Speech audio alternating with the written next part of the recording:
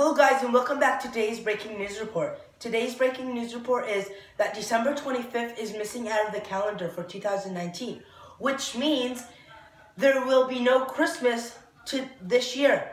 Now let's go to our weather girl for the weather.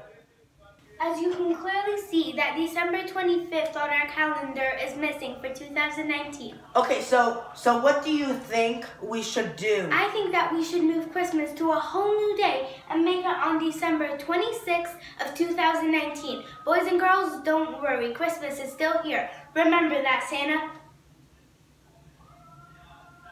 Okay, thank you. And we'll keep you in touch.